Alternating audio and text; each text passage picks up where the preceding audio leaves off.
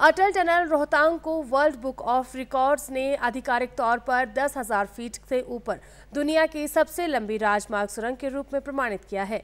Britain में world book of records एक ऐसा संगठन है जो दुनिया भर में असाधारण रिकॉर्ड्स को सूचीबद्ध और सत्यापित करता है। इस टनल के निर्माण में सीमा सड़क संगठन ने महत्वपूर्ण योगदान दिया है। संगठन के महानिदेशक लेफ्टिनेंट जनरल राजीव चौधरी ने इस सुरंग के निर्माण में संगठन की शानदार उपलब्धि के लिए पुरस्कार प्राप्त किया। सामरिक दृष्टि से महत्वपूर्ण ये सुरंग कुल्लू ज़िले को लाहौल घाटी के साथ जोड़ती है और प्रधानमंत्री नरेंद्र मोदी ने 3 अक्टूबर 2020 को इसे राष्ट्र को समर्पित किया था।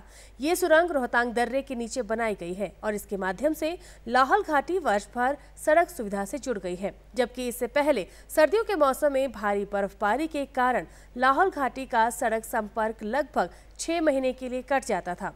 अटल टनल रोहतांग की लंबाई 9 किलोमीटर से अधिक है और इसका निर्माण सीमा सड़क संगठन के लिए किसी चुनौती से कम नहीं था। विश्व की सबसे ऊंचाई पर सबसे लंबी traffic tunnel, Atal tunnel Rohtang का नाम वर्ल्ड बुक ऑफ़ रिकॉर्ड्स में दर्ज हो चुका है।